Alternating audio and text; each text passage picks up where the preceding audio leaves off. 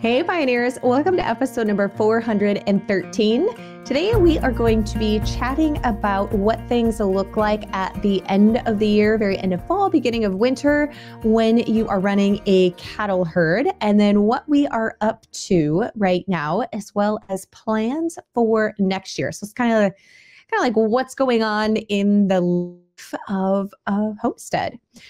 I had shared on Instagram last weekend, we were running our cattle through the system for getting ear tags, just kind of your management of the herd.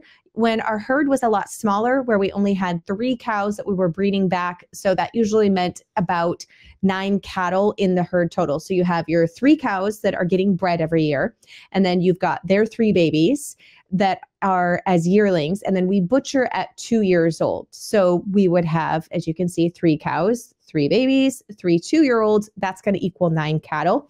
And that's been about the size of our herd, give and take. We've kind of flirted as we have brought our fertility of our pasture up, where we were running four cows which you know do the math then you're at 12 but that was really the max that we could do and depending on what the weather was like as far as uh, you know drought conditions growing conditions etc sometimes for the acreage that we had that was pushing it a little bit. So we would then pull back and bring the herd back to nine total with the babies being at varying degrees and, and stages. So with the purchase of norris farmstead one of the reasons we wanted to purchase that is it was 40 acres of mainly pasture and then there was the farmhouse that we have as the farm stay and we have that going to help us make the mortgage payment for a 40 acre farm.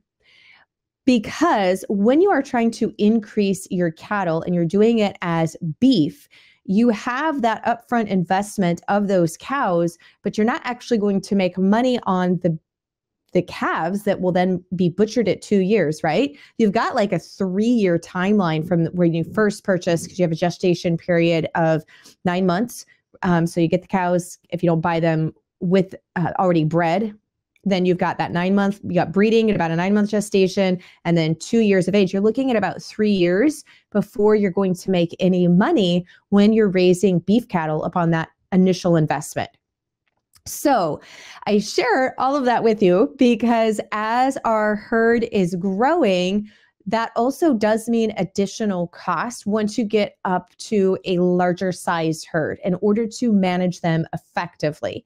So, in the past, when you only have three cows that are calving, and that's three new calves on the ground in a year, it is easy to or uh, easier, maybe a better word. It's easier to manage and to be able to go out. And as soon as those calves are born within the first two to three days, if they are male bull calves, to castrate them. So we would ban them because when they're so small, it's very easy to catch them. They're pretty docile, um, easy to handle. You can ban them.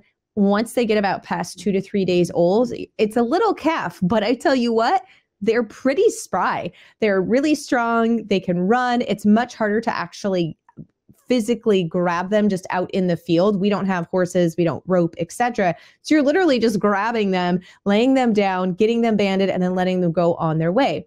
So as the herd grew and they were down at the other farm, it got to be a lot harder where they were calving, but we weren't able to get the calves 40 acres is a lot bigger area also than 15 acres to go and search because mamas hide their calves um, as a protection measure. And so you can tell the mom has calved, but you're not necessarily sure where baby is hid. So we had some instances this summer where there was a bull calves were born, which is great because if you are butchering them, uh, male cows grow to be larger. So at two years old, typically a steer is going to weigh more than a heifer. Therefore, you're going to make more money because there's more meat. So, when you're not wanting to increase the herd size, meaning you want more females in order to breed to increase the herd size, but you're just looking to maintain herd size and butcher, you're usually very excited when you get males. Well, we had some males born and that was great, but we had one where we went to band him um, but one of his testicles had not dropped yet. And so you can't band a calf if the testicle has not dropped because you banding is where you take basically it's like a really tight rubber band and it cuts off the blood flow like you put it around it cuts off the blood flow and then those testicles fall off within a couple of weeks uh, so when they're little, it's much easier to do, um, not nearly as much risk as banding when a cow calf is older, like around six months, just because then the area is a lot bigger. It's more blood flow has to be cut off, like all the things. So we knew if we banded this calf, there's no way to band just one testicle either. Like you have to get it far enough up, it would cut off supply and both would drop. But then the testicle wouldn't have anything to actually drop down into because the sac would be gone. So we just left him we're like, we need to leave them. And if it doesn't drop, sometimes it can take a couple weeks for it to fully drop. But if not, then you're going to have to call the vet out regardless if you want that to be a castrated cow. Now, this probably begs a question. Uh, I've seen different things on social media where people ask, well, like, well, if you're going to butcher it, like, why, why just leave them? Why are you banning them? Like, just leave them a bull. Well, for one, we're not butchering until they're two years old. And so if you have multiple bulls in a with one herd in ratio to females, they're going to start fighting. And a bull is going to eat more um, because he's going to get bigger. And so it can pose a lot of problems. Plus, quite honestly, not every male calf that is born genetically should be left as a bull. Like you want to be very specific with your genetics um, for your breeding program. And so there's multiple reasons why you would ban them. Um, of course, back in the day when it was all open range and these huge herds and stuff, no, there would be natural selection, and you would have uh, bulls. You know, they would would fight. You'd have your dominant bull. You would have herds that would split, etc. But in this day and age, at least where I live, it's not open range, and there's not that capability. So you definitely do need to castrate your male calves and not just let them all be bulls until butcher age of two years. So, that being said, there's the banding method, which works very well when the calf is very small.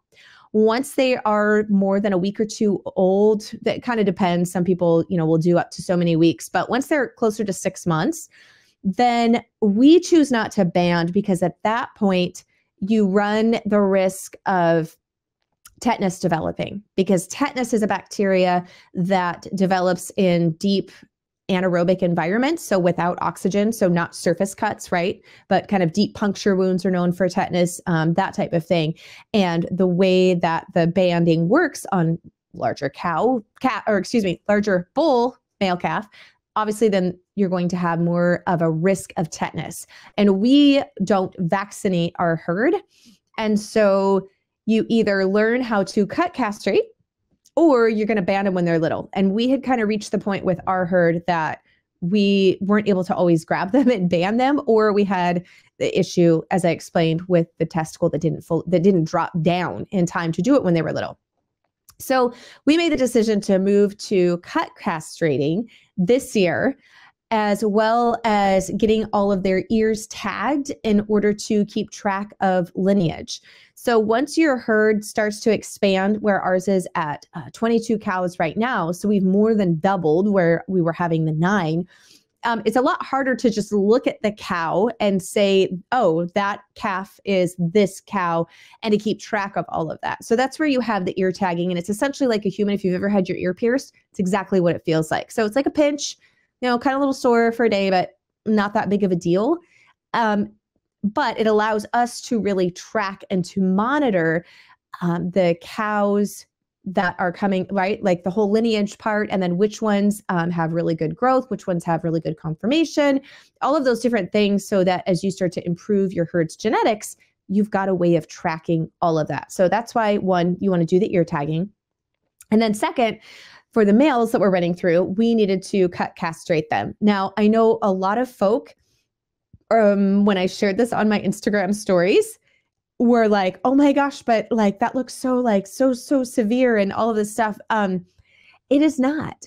So if you've never been around when they've castrated before, I am not exaggerating. They actually squ- squirmed and a calf will bawl when it's distressed more when we were doing the ear tag, which, as I said, pain level wise is like you getting your ears pierced, than they did during the castration process. So you do need to wait to castrate though until it is really cold out because one, you don't want flies. So it is a open wound when it's first done. So you don't want flies there laying eggs and bothering that. So you need to wait till it's cold enough where the fly population has right, went down with the winter. Once you get hard freezes, then the flies die back until spring. Um, and two, think of, you know, when swelling and wound, like cold is better, right? That helps to keep swelling down. So the late fall, early winter, depending on when your frost hit, is really the ideal time to do that because most calves are born during summer and so you don't want them to get too old before you castrate. So between like that four and six month mark is just about right. That's where we prefer to do that for the cut castrating. So that is what we did. And when you first make the cut with the cut castrating, it is very minimal bleeding. I was honestly surprised. So growing up, my dad has always banded um, he just caught, caught them when they were little, just like we did. That's you know who I learned how to do it from, my husband and I, and that was just always his practice on how to do it. But with having the older calves and increasing our herd size, we switched over to the cut castrating method this year. And one of the ways that has helped us do that has been getting a, which I will share uh, some video here so that you guys can see that, is by getting a squeeze chute. And so having an area and having your cattle trained where you can separate them out and if you need to do vet doctoring type things, an area where you can get them in because most beef cattle are not halter broke. You know, they're not tame where you can just go up to them in the field and be able to do whatever you want and to, you know, to manhandle them, so to speak. Um, it's different if you have a cow that's halter broke, like a lot of dairy cows, right, are halter broke, and you can go put a halter on them, lead them around, or hold them still. They're used to being tied. And if you need to do some type of vet administration, then you could do so fairly easily on them. But the great thing with a squeeze chute and having a corral system that allows you to funnel them into the squeeze chute and then hold them still to allow you to work on them safely and do some administration really uh, is key, especially once your herd starts to grow and you're going to probably have, just because the more you have of something, more likely there's going to be something that comes up that you need to be able to work with them. So we got our squeeze chute. Actually, we first saw the setup at the Modern Homesteading Conference last summer in Idaho. We got to see it um, set up. They will be back. It's Archer Valley Ranch. They will be back at the Modern Homesteading Conference this year, June 28th and 29th, I should say of 2024. So it's almost this year. the time of this recording and release, it's in December of 2023. And so they had the whole system set up. They had cows in it on site. So it was really great. We got to look at the whole system, see it in action. And I am so happy that we got the system. It has a sweep arm, so it allows you to gently push the cows, not physically push them, but you're you're putting pressure on them so that they will then go through the system in the least stressful way possible uh, to get them in and then allow you to do whatever you need to do. So it was putting in ear tags for the young ones, both male and female, castrating the males. And then we actually had to put one of our Highland moms through. She, bless her heart, had gotten in some cockleburs. And with that long Highland hair, she had her ears were so matted with cockleburs. I'm like, I don't even know if poor Clara can hear. Like they're so matted. So we put her into the chute um, so that we could get in there with scissors and cut out all of the cockleburs. She basically just got like a spa treatment. She got her hair did um, so that she could hear and get her ears all cleaned out from those stupid cockleburs. So it can just come in really handy for a variety of things like that, as well as if you need to get them loaded into a trailer, you can just use the, that system instead of um, actually squeezing them and immobilizing them in the chute. You can just use it as a way to narrow down and to then you would back your trailer right up to it, and then you could funnel them through and get them loaded if you need to move them, you know, take them somewhere else that way. So one i wanted to share that just because that's kind of what the fall winter looks like as far as the the cattle management. Um, really excited about that tool. I had not seen in person for more small scale operations which we definitely at like 22 cows are definitely considered a small herd. But i really the once you kind of go up at least from our experience once you kind of move up from about three cows or a herd of nine and start to get into that 20 plus, which we will, as we improve the pasture down at Norris Farmstead, we will be able to increase our herd size um, probably to about 30. Um, at about 40 acres, that's a little bit more than one acre per cow. So, where we are with our growing season and growing climate and as that pasture increases, as we're working on that soil fertility, that will be probably about the maximum that we would run on that amount of acreage. We'll kind of see how much the soil fertility does increase with using uh, mob practices and some more of that regenerative farming practice on the fields over the next few years. So that will be kind of fun. Um, but I just kind of wanted to share like how the different times of the year, like what that looks like with specific livestock and some of those things that we're going to be doing. And then also share that this is the last podcast episode, not forever, but the last podcast episode of 2023. So for those of you who have been listening to the podcast for a while, then you know that I just had uh, neck surgery um, less than a month ago and I had a tumor removed. You can go back and, and listen to that episode if you want to hear more about those details. Um, very successful. So I was able to get the whole tumor out, um, no lingering nerve damage. Um, very, very successful as far as that goes. So that's been really exciting. Um, but it also put me in a space where reflecting on where I want to be spending my time and kind of reevaluating what things I want I, I, want to do, I need to do, what things should I be doing, uh, how are things going to look moving forward. So I'm really taking the rest of December to make some decisions on what that's going to look like. The podcast is not going away, don't worry, but I'm taking a short break for the rest of this month.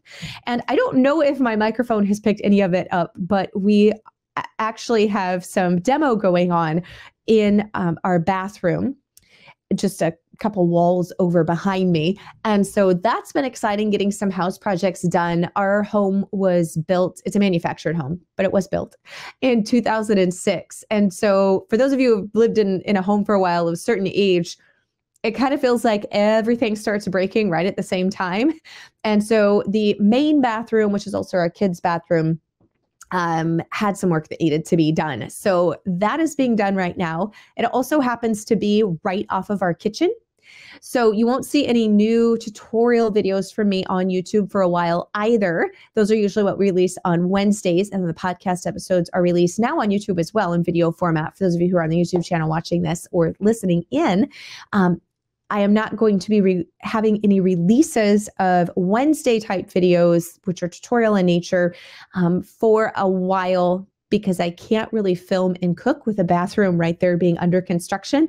And I'm hoping that you're not hearing saws and banging and all those types of construction things too much coming through here as I'm recording the podcast episode for you guys. So, kind of just wanted to give you a heads up and also say, like, you know, sometimes it takes what a, major life event, um, you know, dealing with the tumor and all of that, that you can go back and listen to that episode if you haven't, to make us really take time to reevaluate. Like, are are things still working that we're doing you know in your home in your homestead when it comes to livestock maybe it's your day job just kind of all aspects of our life you don't have to have that major event in order to sit back and evaluate. So I would encourage you, I know it's the holiday season um, and then coming into the new year, but to really take some time and evaluate what it is you're doing, if it still serves you well, and to let go of things that aren't um, or make pivots and changes. And maybe some things are working really well. You're like, nope, nothing, nothing needs to change. Like this is it. Uh, but just to take some time to do some self evaluation of where everything is at and make changes where and if need be. I know for me personally, sometimes I get so busy in the doing um, or in just caught up. Like this is the way things have have went for so long that sometimes I am just doing things by rote or just uh, habitually that don't really need to be done anymore. And so take that time. I'm going to be taking that time um, and just really looking things. And sometimes it's big decisions, like for me, deciding um, how many videos am I going to actually record and share. So that's something that I'm evaluating with as we as we come back. Um, and also, it could just be things like flow in your house. Like I have realized um, I had surgery and then I actually got really sick with a virus. I was down for about two weeks. And so I feel like I've almost had like this month of where I have been forced to do a lot of sitting and that re- that allows me to be reflective and to think. And also looking at my space like in the kitchen and realizing there is a lot of things that I have in my kitchen cupboards that I'm not using anymore, or it's not set up flow wise in a way that is really the best. It's just been, I've always had, you know, these measuring bowls or these mixing bowls in this cupboard. And so they always just get put back there. But like, why are they here? Like, I actually do the mixing and the cooking over on this side of the kitchen. Like, this makes no sense. And so I am in the midst of reorganizing um, our kitchen for flow and just getting rid of some things that I don't use anymore. And I have to confess, I did one set of cupboards this week already. And you guys, like, there was so much that I'm like, oh my gosh, I didn't even know this was in the cupboard. Like, I have three of these because it was so inefficiently organized that I had no idea that there were three of these in this cupboard because some of them were pushed so far to the back, I didn't even know they were there. And so, of course, I had bought it again.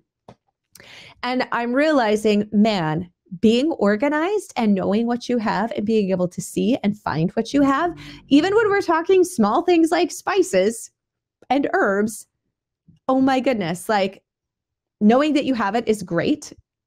And then not buying three of it when you don't need three of it now, I do like having my bulk backup supply, but this I did not need that many of. So that is my goal is to take some of this space too and to just do some reorganizing um, and getting rid of some things, getting the clutter down, and so that everything is more streamlined in the kitchen for when the busy season happens to to to come back which typically for us is really the end of end of winter, first part of spring. Things really start to ramp and pick back up just with seed starting and garden and breeding with the animals and then having, you know, calves calving season starting and all of that. So I just thought I'd kind of share a little bit. I guess it's a little bit behind the scenes, a little bit educational, a little bit tutorial, kind of all wrapped in one there. And to thank you for those of you who have been hanging out with me and the podcast and here on the YouTube channel for a long time now. I just want you to know I really appreciate it. Uh, so many of you have reached out to me over the past month with the surgery and all of those things, um, sent cards, like just, I really thank you and value you and just want to to share that. And also would love your feedback. You know if there's certain things that you would love to see or hear more of when it comes to uh, videos on the youtube channel or podcast episodes etc like would really love to have your feedback on the, the types and styles that you like the most that you would like to see more of kind of all of those types of things will also help me as i plan out next year. And i hope therefore helps you as well. So I hope you have a wonderful rest of your December, a happy Christmas, Merry New Year. And I realized I just totally transposed those. and I just really thank you. So, blessings and mason jars for now, my friend. We will be back in the new year. And if you are looking to buy, said I was talking about herbs and spices and going through all of our kitchen cupboards and making sure things are stocked with what they need to be stocked with, our sponsor is Azure Standard. And Azure Standard has a huge plethora of non irradiated, mainly organic spices. I get most of my spices and culinary herbs from them that I'm not growing myself as well as all of our bulk baking supplies and needs from baking powder, baking soda, of course, flours, chocolate chips, sugars, different sweeteners. They have raw sugar, organic sugar. They have Sucanat, um, my coconut oil, like all of those things. My pantry is mainly stocked with things from Azure Standard. So you, if you're a first time customer of an order of $50 or more, use coupon code Melissa10 to get 10% off of that. And highly recommend that you check them out. They have got just an amazing uh, quality as well as different quantities. So you can buy small if you're trying out a brand for the first time, but then they also have bulk. So you can get those big bulk and save money by buying those bulk supplies. So for real now, Blessings in mason jars, and I will see you in the new year.